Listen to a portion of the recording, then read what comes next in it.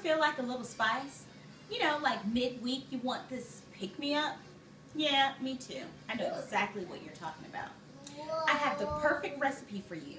We're doing taco stuffed bell peppers. Can't wait. First, these are the items you're going to need for your taco stuffed bell peppers. I'm using ground chicken today.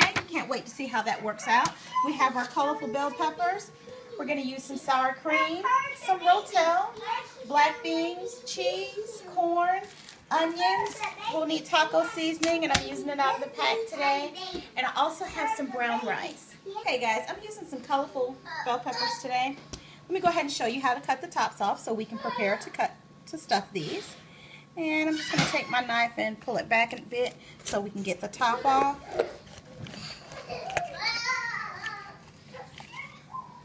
Okay, this one's kind of, all right, got through it. Okay, and then you're just going to take out the inside. You can use your knife and scoop out the inside and get that cleaned out. And I'm just picky. I just wanted it extra clean. The girls are so loud tonight, guys. Huh. What can you do? Okay, so once we get it cleaned out, we're going to put it back in the pan. And I'm going to take the top and put the top back on just because it's cute. Now that we have our peppers cut, we're going to go ahead and put it in the oven at 375 for 20 minutes. In the oven they go. And again, that's 375 for 20 minutes. Next, let's get this onion chopped.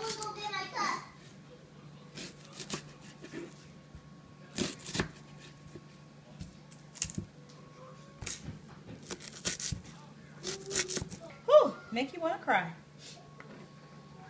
We definitely have enough onion cut up here.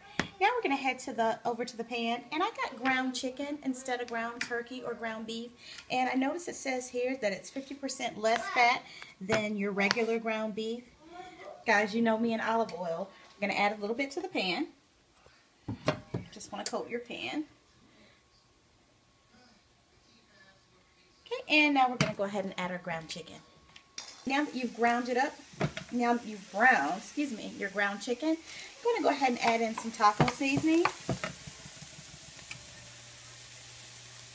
And you'll add the entire pack. And kind of just give that a stir and let it get coated. Next, we're going to go ahead and add in our chopped onions. Next thing you want to do is add in a can of black beans. Just make sure you drain them.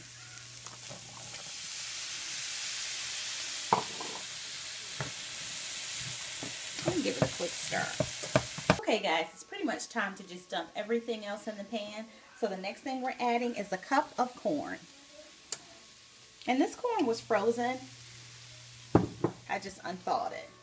So it's a cup of corn. The next thing we're adding is a cup of cooked brown rice. We're doing brown instead of white rice, guys.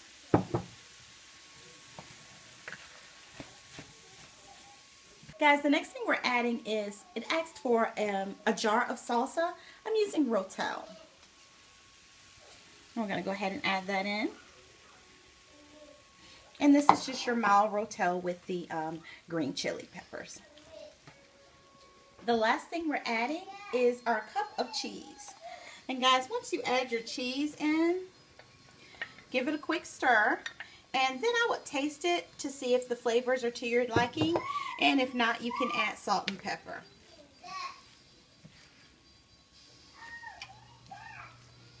Guys, it's so much, it looks like it's going to overflow the pan. You know, I really like these quick meals like this where you get a lot and it's really filling. Like, look how much this made. See what we started off with and how much we have now? And then to stuff our peppers with it? This is going to be very filling. Let's get these peppers stuffed. Oh, wow.